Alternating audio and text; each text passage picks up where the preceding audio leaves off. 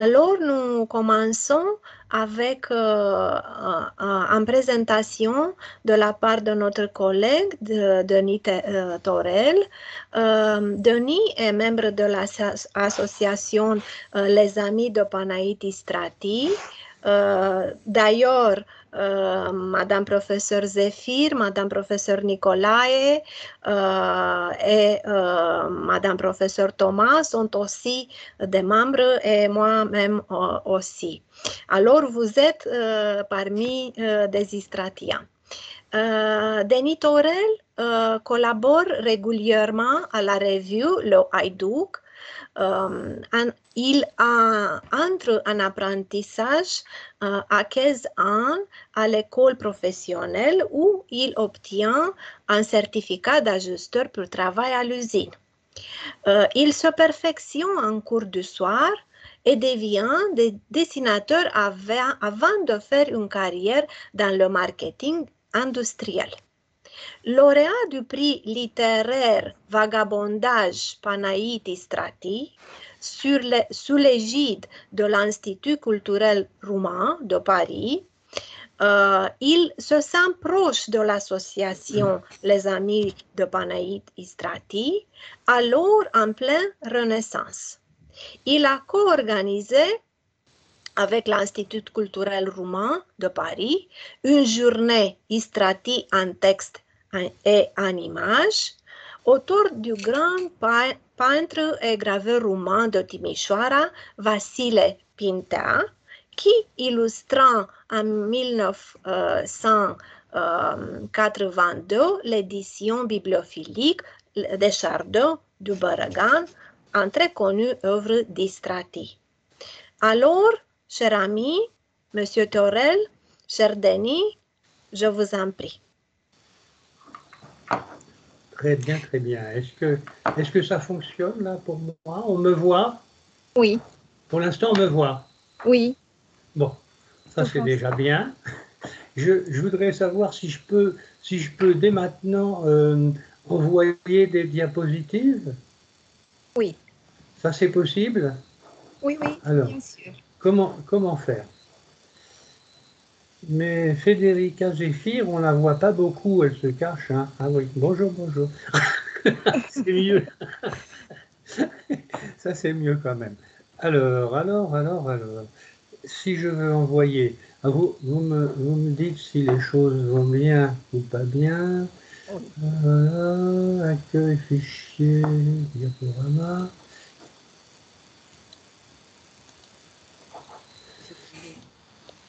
Voilà. Est-ce que là, vous voyez une image? Alors.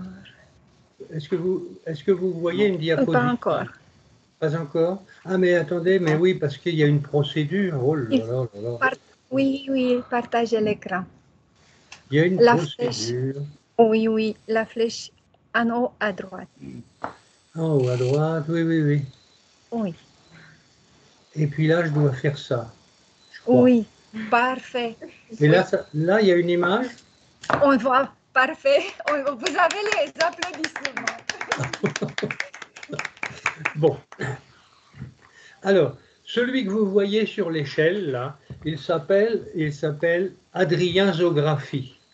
Adrien Zographie, c'est le nom de plume de Strati pour au moins la moitié de ses, de ses livres. S'il a écrit une vingtaine de livres, il y en a une dizaine qui sont des aventures d'Adrien Zographie. Et, pour ce type qui était un autodidacte et qui a prétendu que la seule métier qu'il savait faire correctement, c'était peintre en bâtiment, Adrien Zographie, c'est un, c'est un pseudonyme intéressant parce qu'il est reparti du grec, parce que son père, son père était grec, il est reparti du grec et il considère que zographie, ça veut dire celui qui peint la vie. Et c'est une, jolie idée littéraire finalement qui est, très riche. Alors, je vais vous expliquer en, une douzaine d'étapes, mais je n'ai pas compté. Hein. On va aller assez vite. Je vais vous montrer des images pour, pour euh, expliquer ce que je vois dans la vie d'Istrati, vu de mon point de vue. Entre 1935 et 2022, 2022, c'est aujourd'hui, et 1935, eh bien, c'est l'année de la mort de Panaït Istrati. Donc, on va parler de la période entre sa mort et aujourd'hui. Voilà Adrien Zographie sur son échelle. Alors, la séquence numéro 1, c'est pour la première fois, je suis allé en Roumanie, et c'est là que j'ai découvert Istrati grâce au guide Hachette. Voilà. Et donc, j'ai vécu jusqu'à 50 ans en ignorant euh, superbement Panaït Istrati. Euh, j'en suis honteux maintenant, mais c'est quand, même, la vérité. Et alors, quand j'ai cherché un bouquin, un livre euh, sur les rayonnages de, la librairie de mon quartier, le seul qui était disponible, c'était les chardons du Baragam. Alors je suis tombé, je suis tombé dans Istrati avec les chardons du Baragam et je, suis tombé dans la, dans la première euh, page et, je n'ai pas lâché le, livre jusqu'à la fin de la dernière page. Ça commence comme ça, ça, ça dit euh, Quand septembre arrive, les vastes plaines incultes de la Valachie danubienne se mettent à vivre pendant un mois leur existence millénaire. Cela commence exactement le jour de Saint-Pantélimon, ce jour-là, le vent de Russie, que nous appelons le Mouskal ou le Krivats, balaie les immenses étendues avec son souffle de glace, mais comme la terre brûle encore à la manière d'un four, le Mouskal s'y brise un peu les dents. N'empêche, la cigogne songeuse depuis quelques jours braque son œil rouge vers celui qui la caresse à rebrousse-poil, et la voilà partie vers d'autres contrées plus clémentes, car elle n'aime pas le moscovite.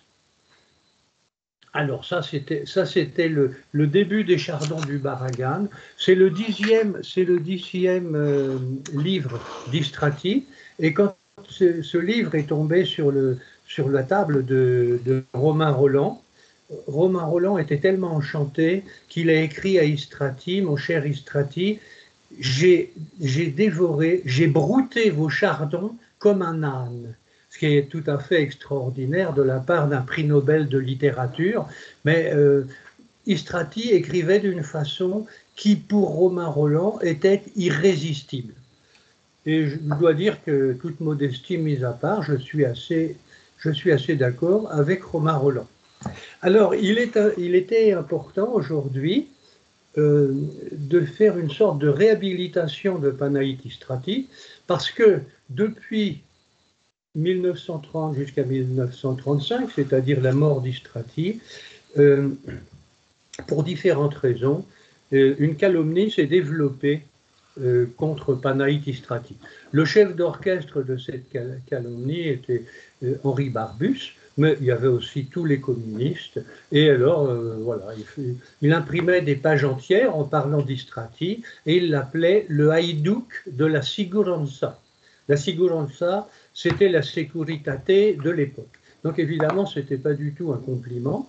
Et alors, jusqu'à la mort d'Istrati, donc en 1935, Istrati a eu un enterrement qui était tout à fait, qui, aurait été à son goût, euh, un char traîné par, euh, tiré par deux bœufs, et puis il y avait des fleurs dessus, il y avait des, tapis traditionnels, et il y avait une foule pour le suivre jusqu'au cimetière Bellou.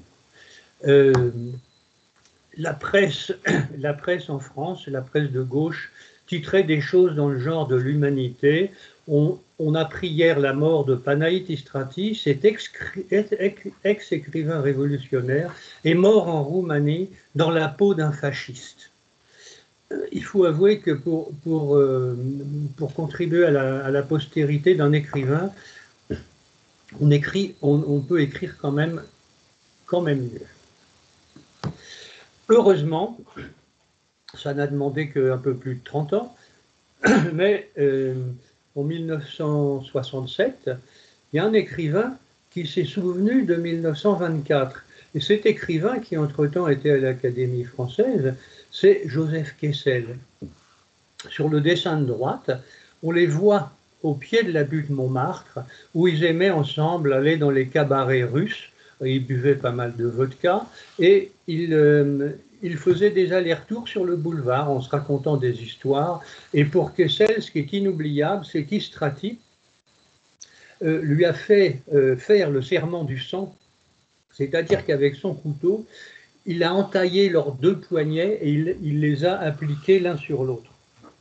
Et Joseph Kessel, qui avait une grande admiration pour Istrati, n'a jamais oublié ça. Et quand il s'est agi de réhabiliter Istrati et de remettre en route euh, l'association, eh bien, il était là.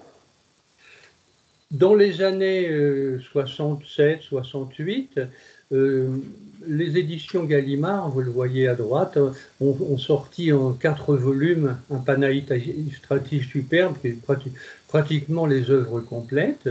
Et puis juste avant, si on revient en arrière, il y a trois noms à noter. Il y a Alexandre Talex, Alexandre Talex, qui a écrit la première petite monographie en 1945.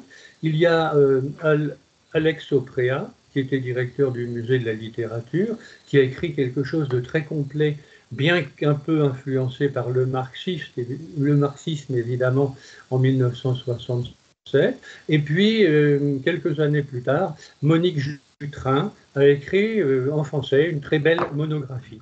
Donc, à partir de 1967-68, tout était en place pour que Istrati revienne sur le devant de la scène et on a réédité vers l'autre flamme, qui est son souvenir de, retour du RSS, euh, avec des explications pour réhabiliter le, poète roumain. En 2012, puisque vous vous souvenez que je suis allé en Roumanie et puis j'ai lu Istrati, mais il n'y avait même plus d'association Istrati active. En, 2012, euh, l'Institut culturel roumain avec une dame qui s'appelle Christina Hermesiou, a lancé un prix littéraire. Et finalement, j'ai trouvé que ça m'intéressait de mettre mes pas dans les pas d'Istrati, parce qu'on nous demandait de, de, faire quelque chose, de faire, quelque chose sur, le thème du vagabondage.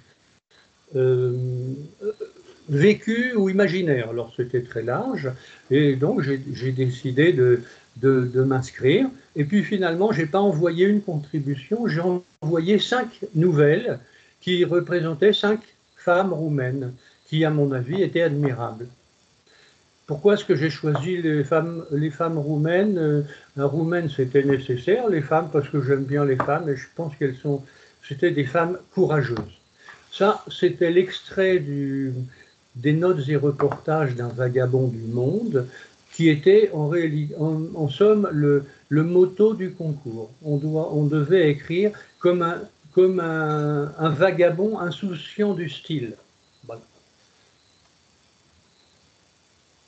Et alors finalement, au Salon du Livre de, Paris, sur les trois nouvelles que j'avais envoyées, euh, sur les cinq nouvelles, trois ont été retenues, ce qui fait que j'étais parmi les lauréats. Et là, on voit avec euh, Razvan Gorsea et Christine Arrey, qui étaient des lauréats également. Et nous devions, sur le stand de la Roumanie, ce qui était un grand honneur, euh, parler, de, parler du vagabondage de, de Distrati et comment nous l'avions interprété.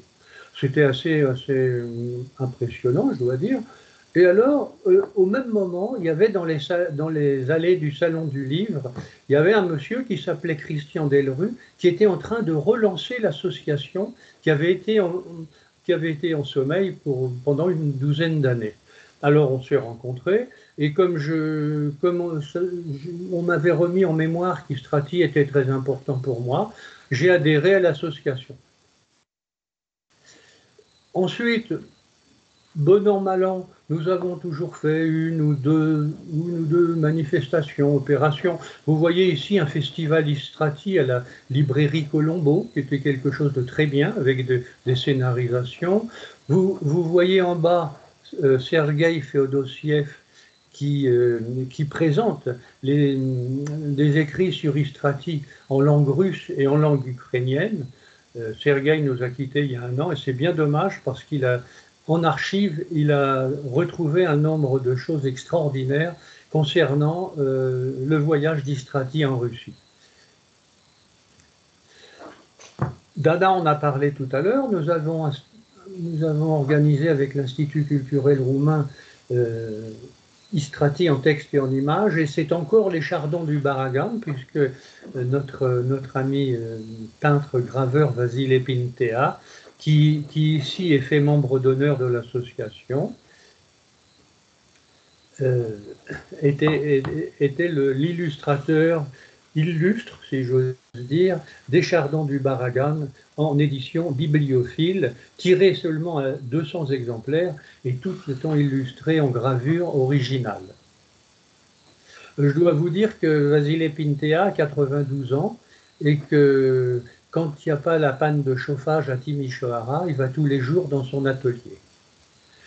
On arrive à la au colloque organisé à Bucarest en 2018 par Dana Radler, où j'avais eu l'honneur de, présenter euh, quelque chose, enfin une communication sur, euh, sur Istrati et George Orwell, puisque comme vous le savez, ou bien vous ne le savez pas, la dernière œuvre littéraire d'Istrati est la préface à La vache enragée de George Orwell. Et donc j'ai un petit peu étudié sur ce sujet-là et c'était assez intéressant. Enfin, j'ai surtout apprécié euh, l'ambiance excellente euh, à l'université, comment nous avons été accueillis euh, parmi toutes les sommités. C'était vraiment, c'était vraiment très très bien. Et oui, c'est là, c'est là que j'avais déjà connu un certain nombre de personnes, mais c'est vrai que là, en, deux journées, ça permettait de, faire connaissance. Il y avait Frédérica Zéphir, entre autres sommités. Tous les ans, quand il n'y a pas de pandémie, euh, l'association essaye d'organiser quelque chose d'intéressant et d'istratien.